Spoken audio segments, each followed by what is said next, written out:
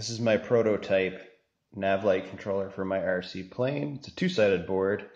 On this side we have an Arduino which runs off of a sing single PWM input from the RC controller and then the pins out here run to pins for transistors that are on the other side of the board.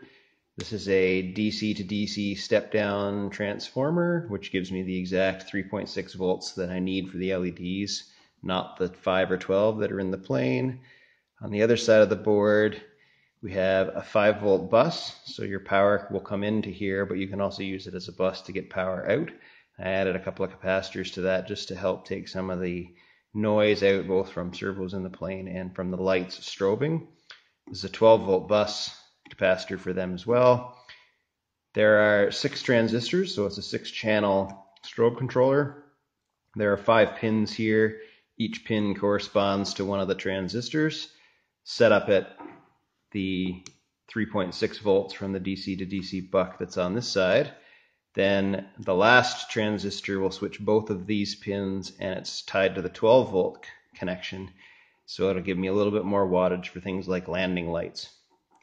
Overall, the prototype board actually works pretty well. I'll put a link in the description to the GitHub for the code that runs the Arduino.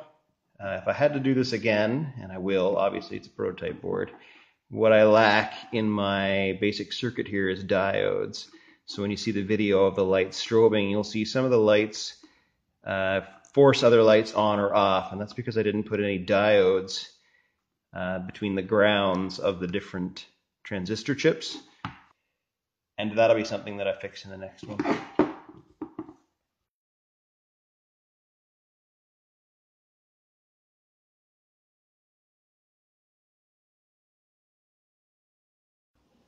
The code I wrote to control the Arduino allows you to control each individual channel through either strobe or fading and to vary the different times between oh. each.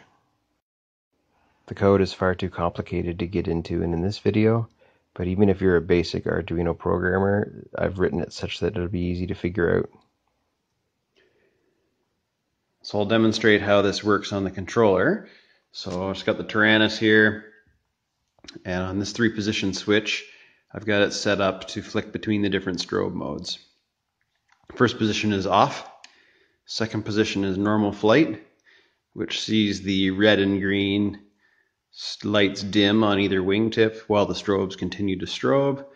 And then the third position is set up for landing mode, which leaves both wingtip lights on all the time, and the strobes continue to blink.